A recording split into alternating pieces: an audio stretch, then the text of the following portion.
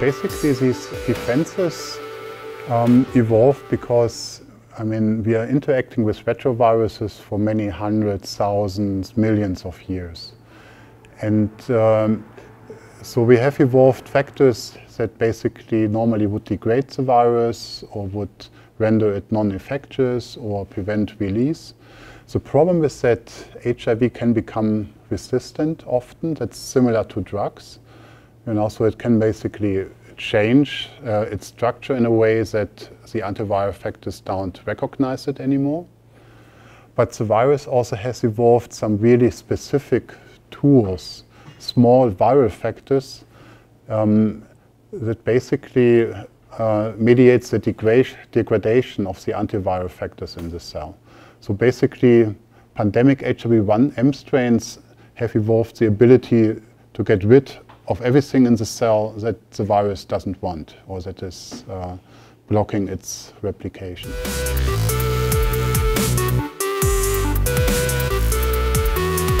Basically, there's a huge reservoir of similar viruses in African monkeys and a large number of about 40 different monkey species in Africa is infected with similar viruses.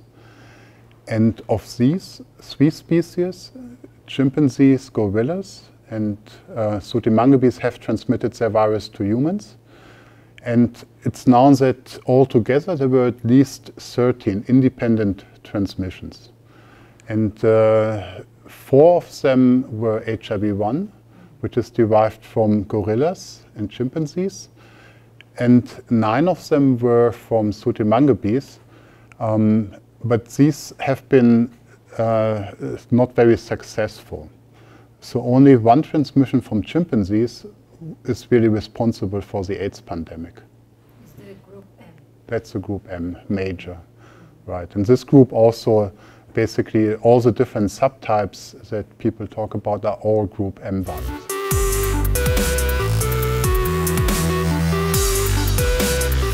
It has been, become clear that there is actually a, a relatively large number of antiviral factors. And one of them is called TRIM. Normally it binds to the viral capsid and then degrades it, and then it's not infectious.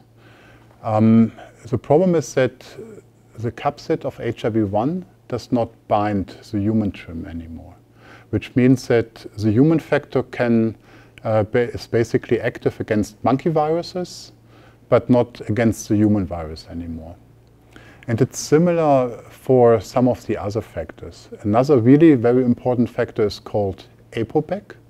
It attacks the genome of the virus. So basically it introduces a lot of changes in the virus and then it becomes completely non-infectious. And there is a viral protein that is called virus infectivity factor because it drastically increases the infectiousness of the virus by uh, degrading this antiviral factor APOBEC. Um, yeah, and another protein called VPU degrades tezurin, which is mediating the attachment. So these small viral proteins basically um, bind to the antiviral factors and then mediate their degradation in the so-called proteasome.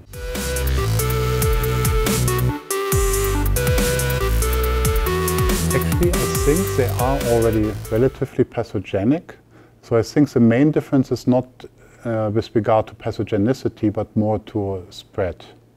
So the non-pandemic strains are also already active against APOBEC and TRIM, um, but they are less active against tezurin. And um, as I said, facilitates virus release, and we think that it affects the re release of the virus also in genital fluids like semen or vaginal fluid, and it may just prevent the effective transmission. Although this is uh, mainly just uh, based so far on cell culture experiments, and uh, it has not really been proven uh, uh, in monkey models or in, in humans, but I think it's very plausible.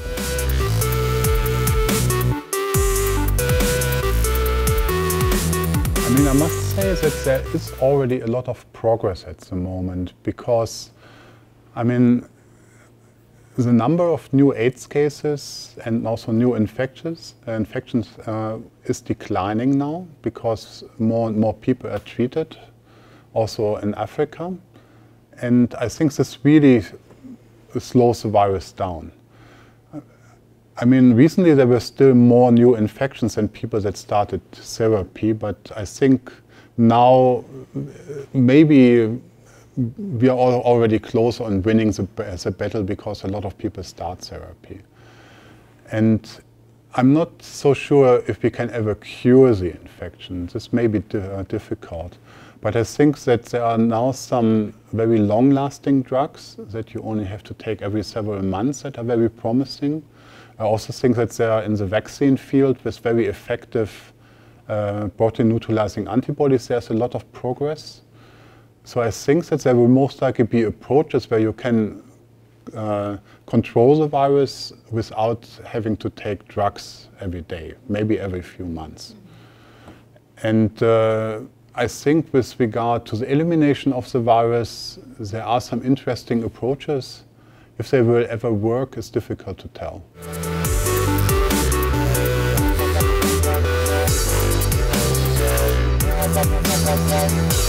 Oh, oh, oh.